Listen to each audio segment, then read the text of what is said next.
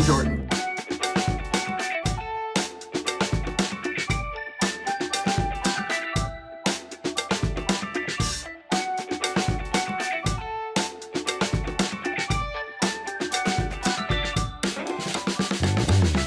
This, is unedited.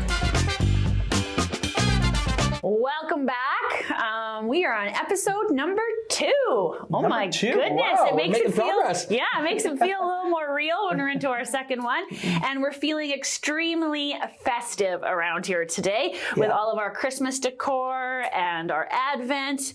And Ashley made uh, set up this beautiful tree right here. I And- love the tree. I know, and all the wooden ornaments on this tree her dad made. So it's even more special. And it's all your classic colors, Jordan approved colors, Yes, red yes, because. I can get particular about colors as we've learned. yeah, so no blue, no Christmas.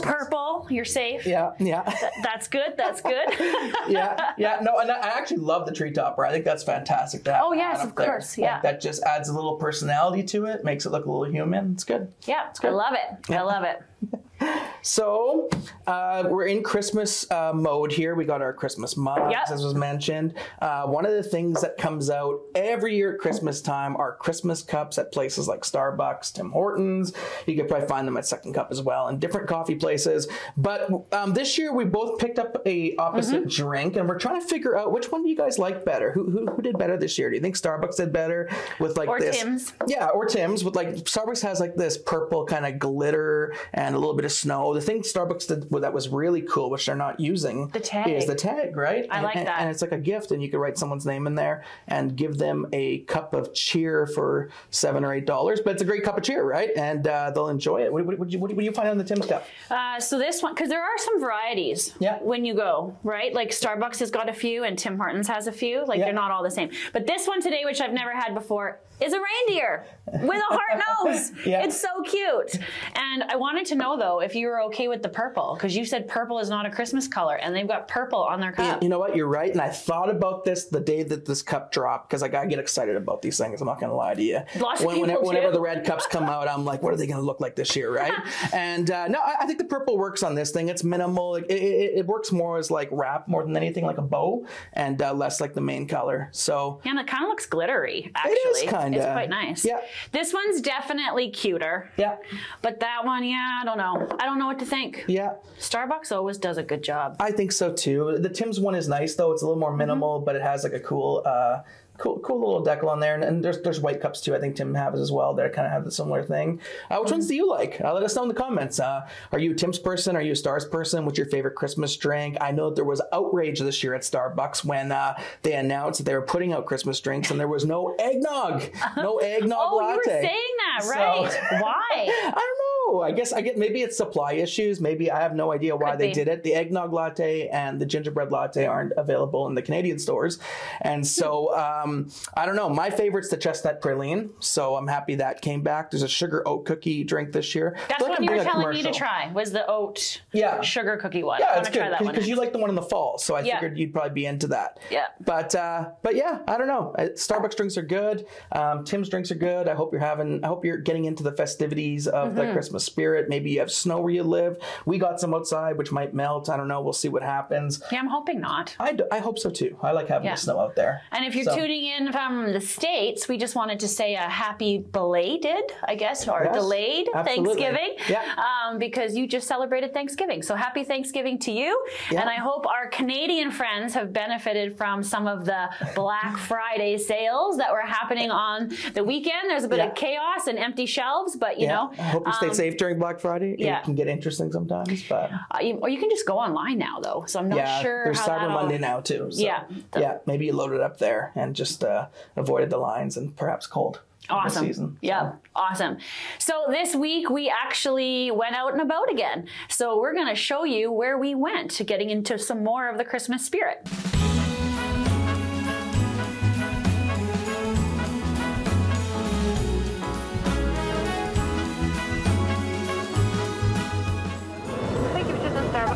Starbucks. Can I get started for you today? Yeah, I'll get two of those uh, sugar cookie cookie oat lattes grande.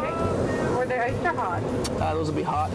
Okay, anything else? Yeah, and I'll have a decaf grande chestnut praline latte with lactate. Uh, no foam, but uh, we'll take the whipped cream. And can I get that extra hot too, please? Extra hot for sure. Anything else? No, that's great. Okay, thank you. Have remember your orders? I don't know. I just it, it kind of rolls off the tongue. It's uh yeah. I don't know. It's my drink in the winter, Christmas. Fair enough. the boy without a toy. So giddy up, Rudolph, my dear. Hey, Ashley, making me break going five clicks. Settle down. Settle down, Jordan. Hey, it's the Eiffel Tower. Look at this. The chickens. How does that go? To, oh, three French heads. Oh, we're in five golden rings. Ten jumpers jumping. Lords of leaping. Oh, yeah, Lords of Leaping. She's right. Jumpers jumping. That's the new words from now on. I would like my lyrics considered, please.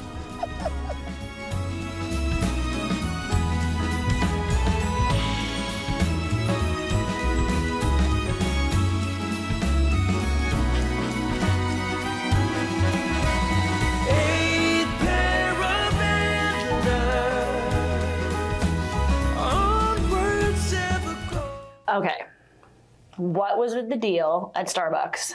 What? What did I do? Like your order. You're that annoying person that I have to stand behind and listen to. And then I actually feel sorry for the people behind the till, too. You know, I am not that annoying person. Starbucks gives you the ability to customize your drink, and I was simply exercising my freedoms, okay, and uh, making my drink my own that day. You know, I think I held back a little bit actually because I knew we were recording this one. So, uh, so um, you should give me some credit on this. But no, it, it was a good drink. Starbucks is always awesome. It's a nice thing to get before we went to the Enchanted Forest. Mm-hmm, I agree. what do you think of that? Loved it. So we found out, just because we were, you know, paying attention, that it's been there since 1999.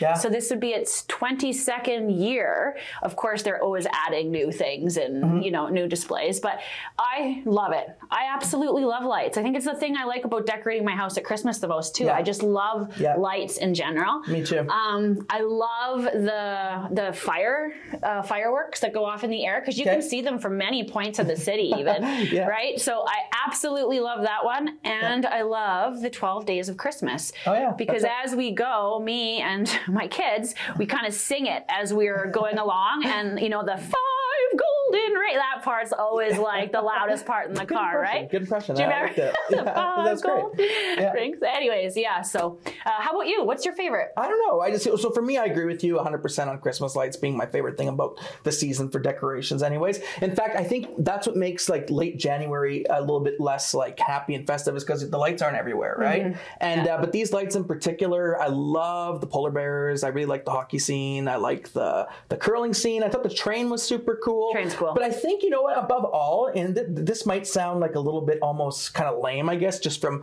going to the Enchanted Forest. But like honestly, just plain colored lights on a tree, the way they decorate them look amazing. Mm-hmm. Well, like, like- that purple tree looked awesome. That that, that Purple! Yeah. Sorry, sorry. I know. I know. I know that kind of contradicts my Christmas Ah, thing. But the purple! purple one especially stood out to me, and uh, the red tree where it's just literally red lights. You kind of get a picture of the moon. Like it, it's just a nice setting. Like There's whoever so decorates many. that stuff is doing a great job. Well, there's just so many on those trees, right? So it's not just these, you know, it's just absolutely beautiful. Even as you're leaving, there's like candy canes Yeah. and candies and Yeah. cookies as you're going through the archways. It's just beautiful. So, Yeah. and it sticks around all the way till the new year. So No, there's absolutely. lots of time to go and Yeah. check it out. So, Absolutely, no, and I agree. Um, this year we actually, we were, our original plan was hoping we were going to walk through it, right? Yes. Uh, because they typically on the first day before the Enchanted Forest starts give you an opportunity to walk through it and do a walkthrough, but because of the pandemic and keeping ourselves safe, and as we should, Yeah. But uh, it, they, they definitely didn't they didn't do that this year, so that that'd have been a neat experience because I've never actually done the walkthrough. Have you? never done the walk, but I can guarantee when we do eventually do the walk, it'll be the coldest day of the year. Yeah, probably. Because that Yeah. usually seems to be the case Yeah. that's happening to us lately. Yeah. It's so beautiful, and then you want to do something outside, and it's minus 21. Wow, you know? and, and that's weird, right? Because even, even like the Santa Claus Day parade, uh, it was like literally the one cold day the in a week. only Right? whole day. My poor daughters were just freezing out there. So Too funny. So, anyways, yeah, you have to go check out the Enchanted Forest. Of course, all the proceeds, most of the proceeds go to the Saskatoon Zoo. So that's Mm. fantastic as well. So yeah, check it out. You'll love it. The lights are great. They'll put you in the holiday spirit, and uh, you'll enjoy some good time with family or friends or whoever you go with. Well, Christmas is so close, but yet so far away. Yes. So, the next four weeks on Unedited, we thought we would do some Christmas stuff. So, we've decided to call this a few of our favorite things, although it is not a Christmas song. No, no, it isn't. It isn't. Which I've we do know found that. that. out. Actually, I told you. Sound that. of music. Sound right? of music. Yeah, Good man. That's good where man. it came from. But the idea is there though, because at Christmas time, um, there's traditions, right? There's things that we do every year. There's new things we try, and there's things that you look forward to. Yeah, I So agree. I think it's worth talking about and worth uh, worth sharing. Yeah. So if there's any traditions or activities that you guys like to do with your families, with your friends, whatever that looks like, feel free to comment at any time. Those we would love to see them. Maybe they're ones that we should be doing that we're not doing. But what are some of your favorite things at Christmas time? Uh, Traditions, activities. There's a ton of them actually. I, I know my wife Nicole used to always make us like a, a things to do calendar, almost like a Christmas kind of list, right? And it had little boxes with little events next to it. And I think one year we checked off all 25 or so. That would feel kind so of, uh, traditions, right? Checking off the I don't know. For us, it's all sorts of stuff. Um, I look forward to the music. I look forward to movies. Like I have like a list of like 15 must-watch movies every Christmas, right? Which we'll talk about And, next uh, week. Yeah, we're gonna get into that. Yeah. Um, I like I like sipping hot apple cider. I only do it around that time of year. I eat butter tarts, which I find um, are, are for that time of year, right?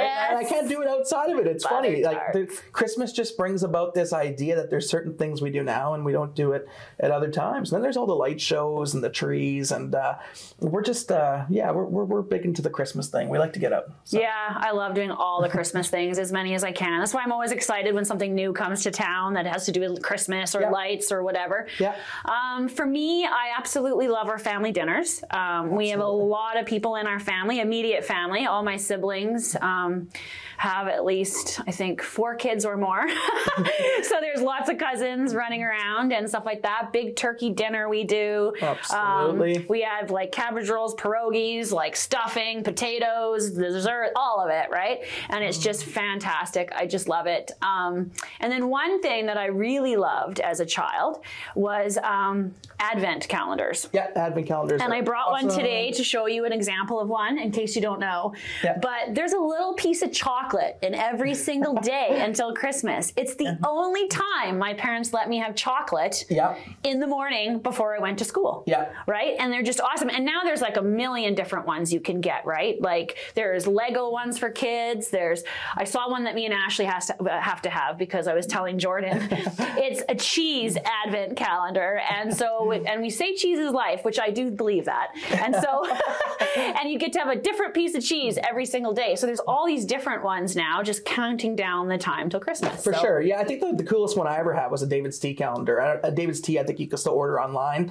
uh, but they had a calendar with 25 different flavors of tea that you can try. It, was actually tough to get through. I know it seems simple that, you know, just But you're brew a cup committed, like, you have to do it every single day. Yeah, just to make sure you get that in. And then, you know, you got to make sure you're not drinking too much caffeine. At least I do.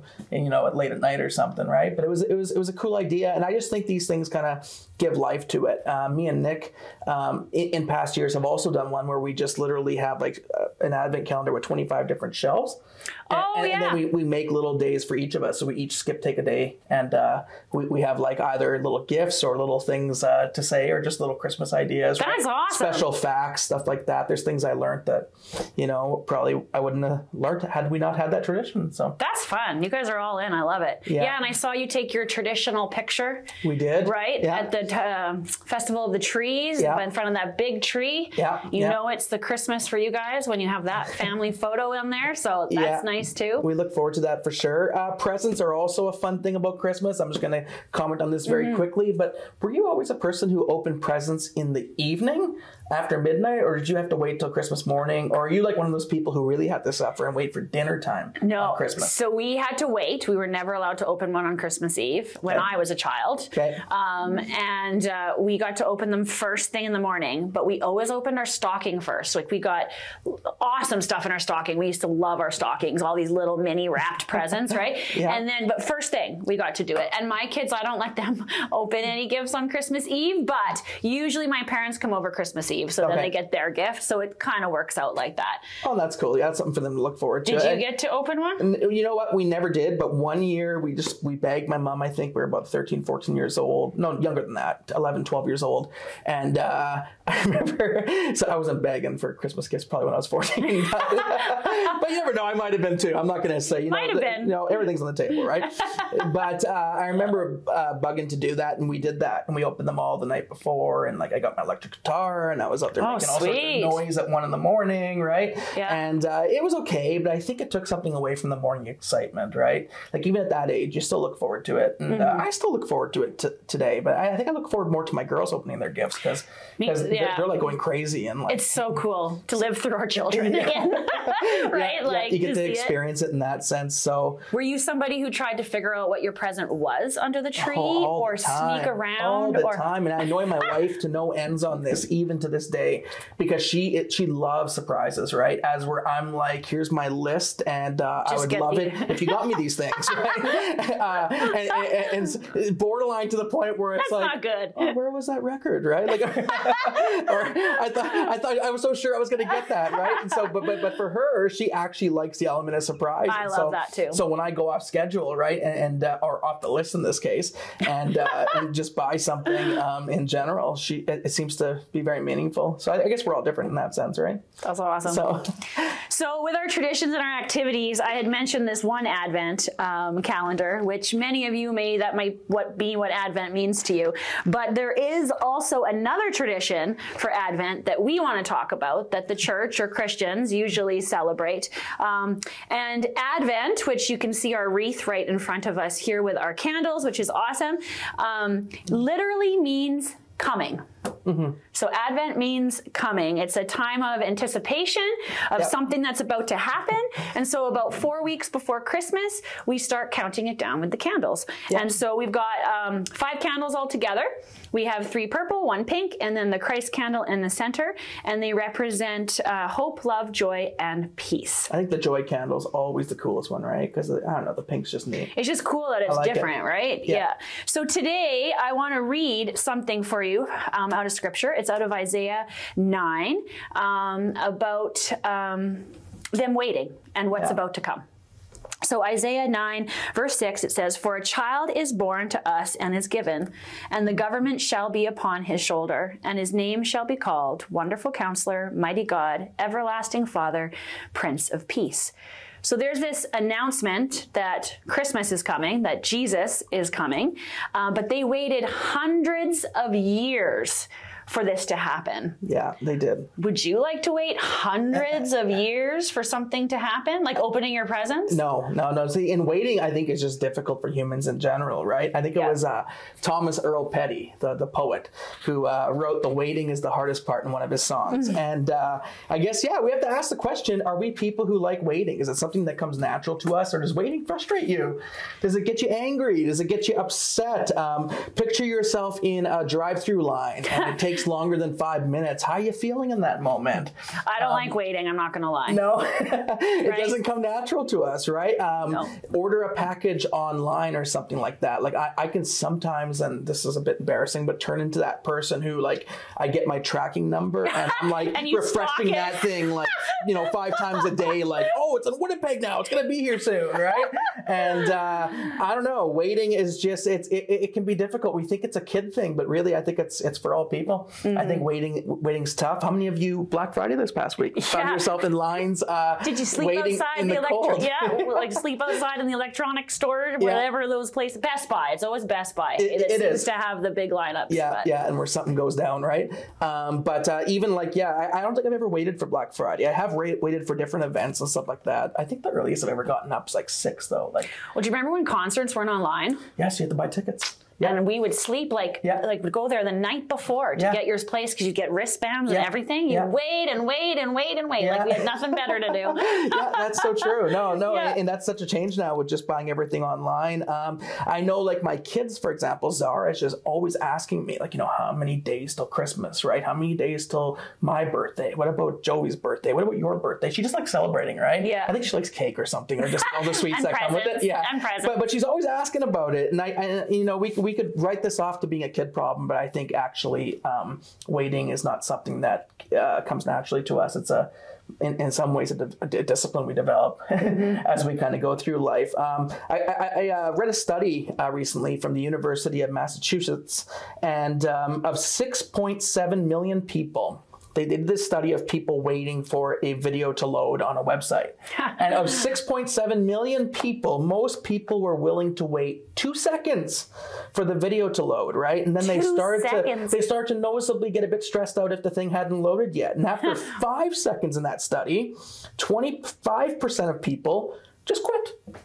Just abandon the process. Yeah, we're done. Wasn't important yeah, enough. yeah, it's not happening. Five seconds is over, right? And after 10 seconds, 50% of the users had left and abandoned and given up on the page loading.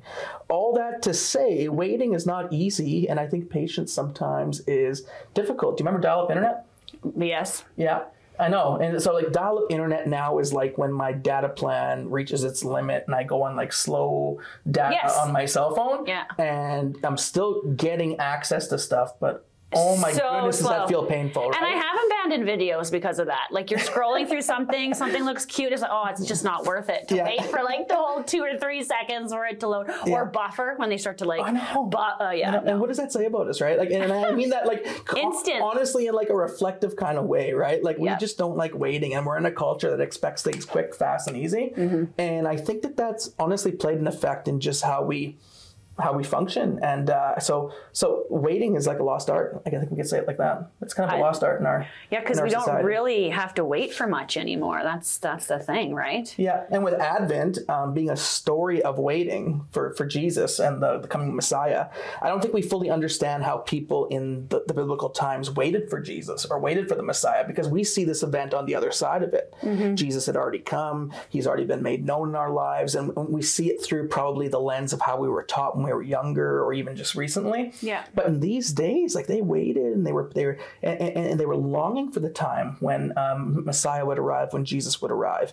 And uh, there was this guy in scripture named Simeon, and uh, I've heard he's made appearances around the The neighborhood. around the neighborhood at times. We'll just we'll just leave it at that. But uh, Simeon was a, a gentleman in Scripture in the book of Luke. Now Luke's one of the writers of the Gospel. He um, was a doctor and he gave us his account of Scripture. And in Luke um, chapter two, we read this in verse twenty-five. Now there was a man in Jerusalem called Simeon who was righteous and devout. Um, he was waiting for the consolation of Israel, and the Holy Spirit was on him. So he was waiting for this Messiah. It had been revealed to him by the Holy Spirit that he would not die before he had seen the Lord's Messiah. So, so he was waiting for this to happen, and moved by the Spirit, he went into the temple courts.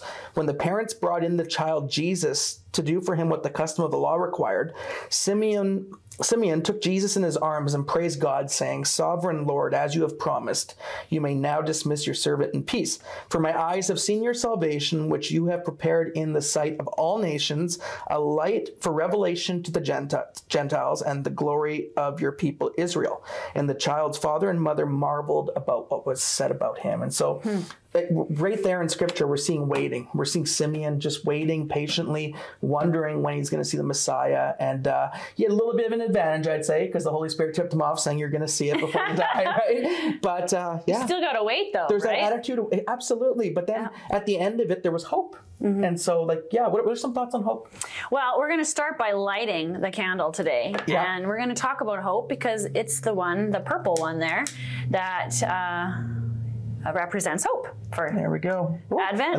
Right Awesome. Look at first go. Look Yeah, at that. it worked. I know sometimes these things can can embarrass me a little bit. So Um, so hope, um, which many of you know the word. I think we use the word actually probably too much. It's kind of like using love all the time too. But it's Yeah. I hope you have a good day, and you're saying things like that all the time. but true. it's um, so I looked it up to see what the definition, not the biblical definition, but the definition was, and it says that it's a feeling of expectation or a desire for a certain thing to happen, to want something to come to be, to happen. nice.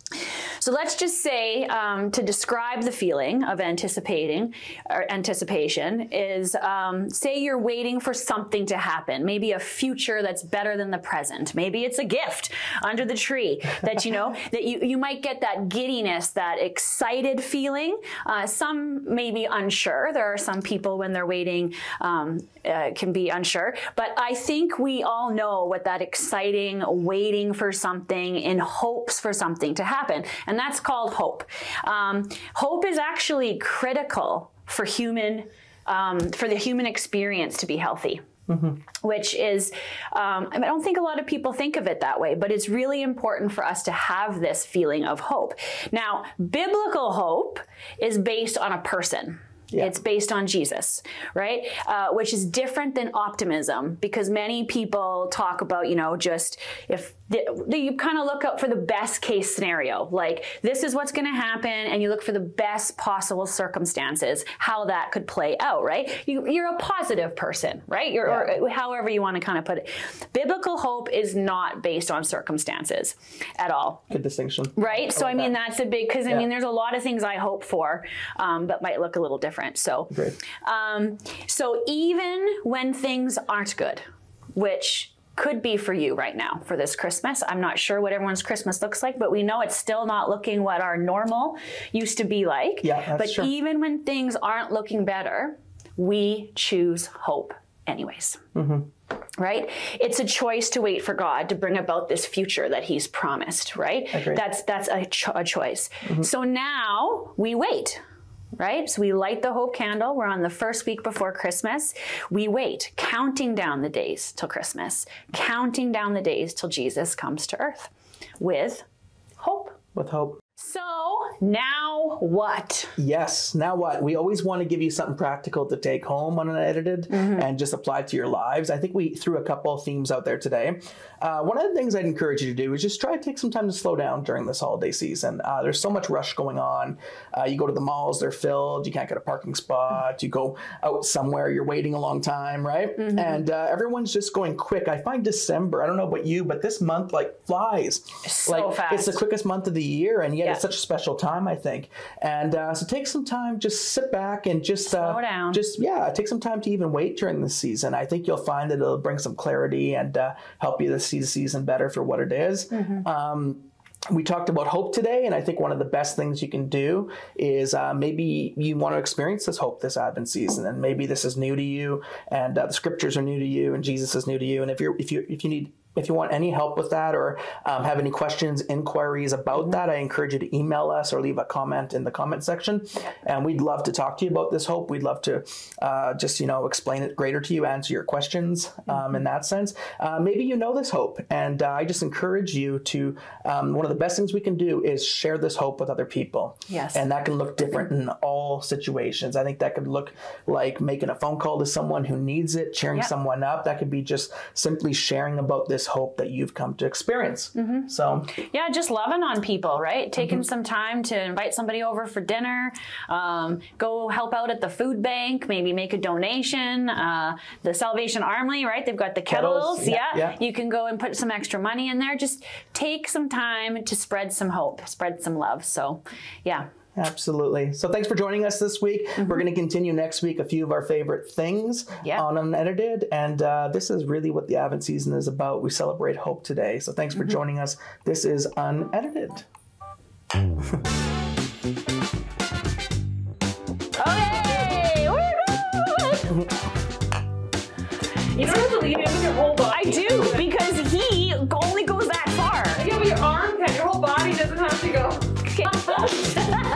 Sorry.